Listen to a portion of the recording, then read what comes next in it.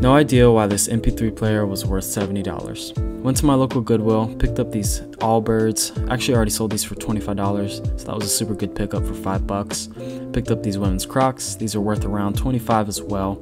Um, and then I did pick up these New Balance X90s. Probably going to keep these for myself, but they are worth 45 if I do want to sell them.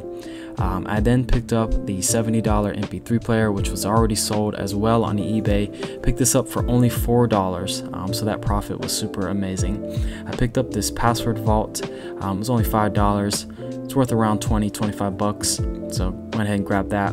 Um, then went to the shirts, found this Kappa shirt.